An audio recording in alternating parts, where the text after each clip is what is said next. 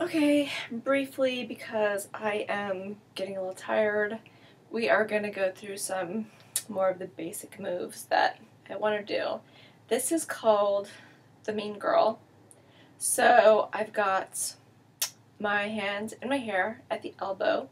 I'm really sinking weight into my hip that's in the front, and I'm jutting those hips out, lifting up the rib cage, and giving ah, attitude face. That's mean girl. What else? Oh, there's the bridge. That's pretty basic. Lying down. Right. And pressing up. So either on the toes or whatnot. Um, with that one also, of course, will come, you know, leg lifts.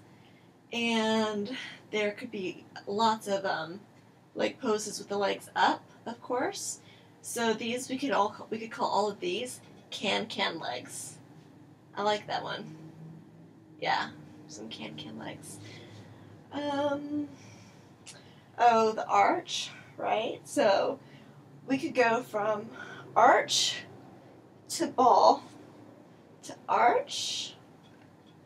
Oh, the archibald. That's what it can be. The archibald pose.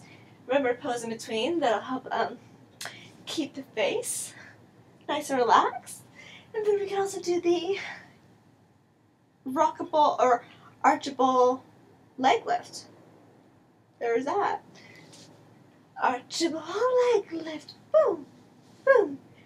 Archable leg lift. Boom. Oh, I like that better.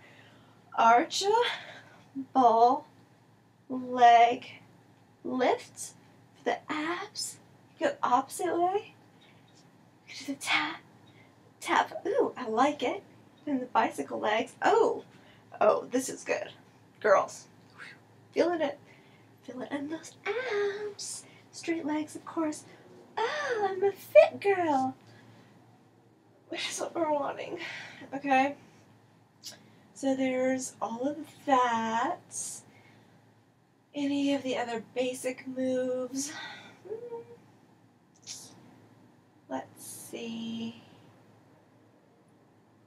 Uh, thinking, thinking, thinking. Oh yeah, from um, from my one of my videos that I put up, I noticed a lot of you were interested in the pose where I had the hat.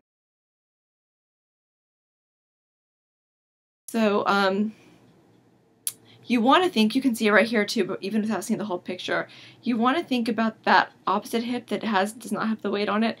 You want to think about trying to drop it down as much as you can. That's going to help lengthen the waist. You can definitely see that. So then what I did in the video is I had the hat. I allowed myself to lean out to the side to get more of a dramatic look. But then, of course, you see these wrinkles here. So that's when you want to think about, again, lengthening that hip down and you're lifting your ribcage even more to keep those wrinkles out. And you could do little ab crunches, twisting forward. That's a toughie. Oh, because it's already natural resistance with your hip in that position. Ooh, I like that. Try going to the other side. And we can lean it back and lift it up and we can even go more to the side and see how far over you can go without feeling like you're going to fall, which this is all I've got, and then coming back up and lengthening it up. Oh, that's good. Okay, so another thing that I'm doing to help is I'm pushing my bottom foot up into my top leg. And that's actually helping me get more length on both sides, which is very exciting. And of course, to the other side. My hamstring hurts. Okay. Putting that foot under and going over and lift, over and lift. Is this the, oh, the mermaid, you know, from Pilates? This is kind of like the mermaid. Oh, you can also, oh, that's right, I forgot. Forgot, I forgot. This is something that I had to work on, worked on previously. So also in this position, allowing the arms to go out so you have a nice long line and stretch it over and lift. You can practice just the elbow to get even more stretch. And think about, instead of using this bottom arm, think about trying to lift with your abs so that your arm is only following what your abs are doing. Then you can also reverse it and try just to use your arm. Some big noise just happened. Um, to get triceps. So all kinds of ways to do that.